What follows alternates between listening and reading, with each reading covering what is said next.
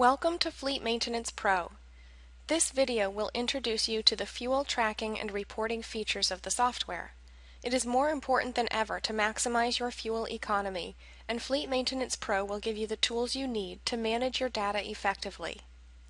There are several methods of recording fuel data into Fleet Maintenance Pro.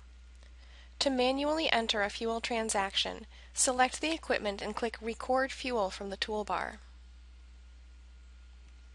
Here, you can record the date, fill mileage, gallons consumed, price, and any additional criteria you wish to track.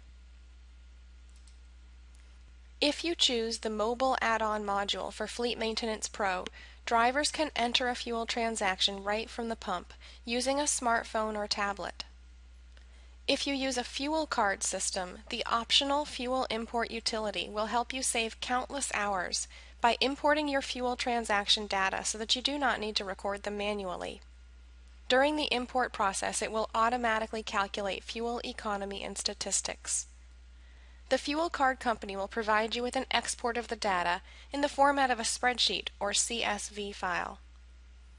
Your data will look something like this, with columns of transactions which include the date, vehicle number, current odometer reading, quantity consumed, and price per gallon. Based on a sample of your data, we will create the mapping and configuration files necessary to run the import. Once you have received the files and saved them to the appropriate location, you can click on the Tools menu to access the Fuel Import utility. Click the Browse button to browse to the file location. After the import, you will see a list of any errors.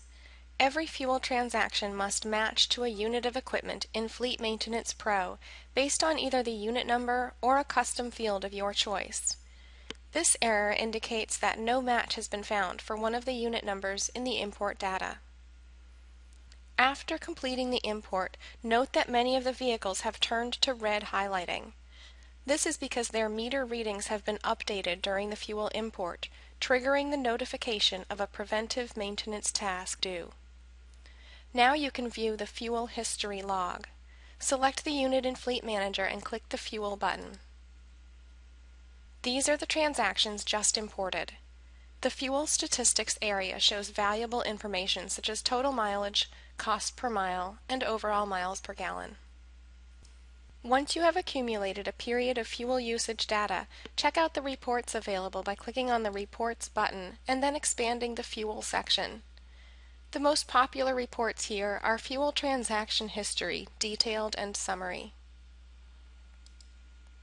The detailed report displays similar results to the fuel history log, along with various equipment information for each unit.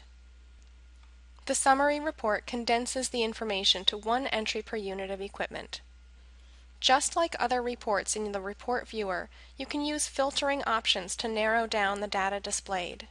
For example, the Date Range drop-down menu allows you to select the time period of data to view. Samples of these reports are available in the knowledge base. Visit mtcpro.com for more information.